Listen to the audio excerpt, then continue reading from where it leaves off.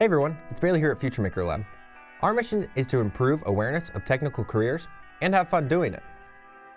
Today, we're building an AC unit out of a milk carton. So let's get started. Has this ever happened to you? Our air conditioner broke. I wish somebody could help. Then worry no more with the Cooler Buddy 3000. With the Cooler Buddy 3000, you'll never have to worry about being hot ever again.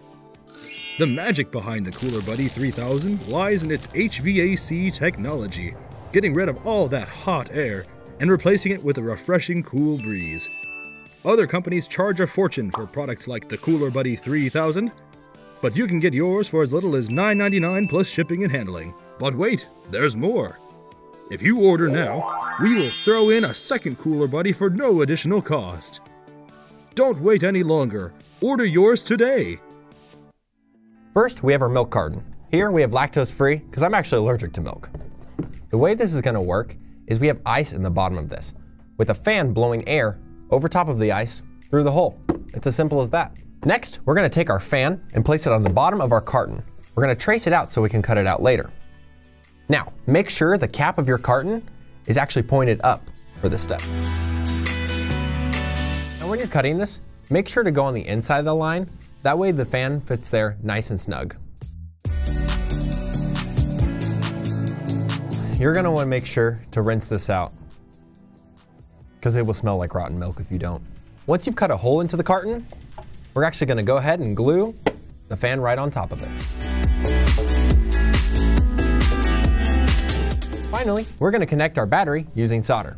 Jay actually did a video on how to solder, so if you haven't done this before, make sure to check that out. Now, we're gonna take these wires, you wanna connect them red with red and black with black. I had learned that the hard way. Rick, we're on fire.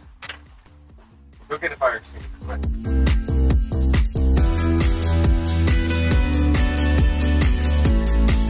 Now that the AC unit's done, all we have to do is put the ice in.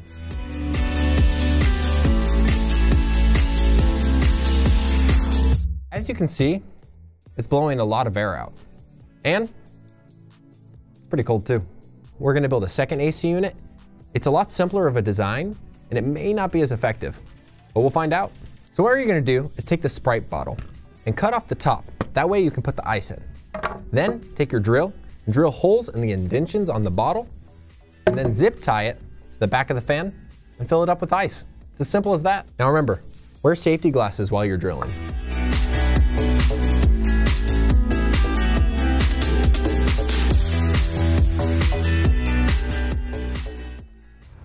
And you just turn it on and you've got cold air. This was our reaction when we turned it on earlier. That's actually not awful.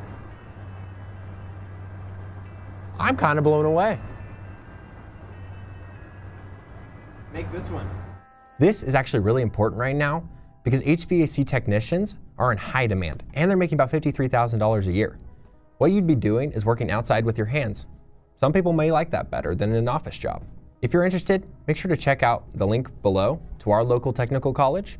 And if you're not in our area, make sure to check your local technical college for more info. So that's gonna wrap it up today's video. Now you have a little mini AC unit you can use in your room or even your garage. Well, we're a brand new YouTube channel that's getting off the ground, so if you know anyone who might be interested in this, definitely go share it with them. This was Bailey from Future Maker. See you next time.